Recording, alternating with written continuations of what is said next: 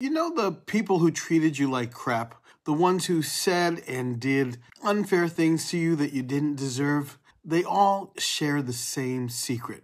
I'm Mahesh Grossman, a somatic hypnotherapist, and this is something I've seen time and again in thousands of sessions. The bullies, the traumatizers, the narcissists, and the messed up people who raised us really did share a secret.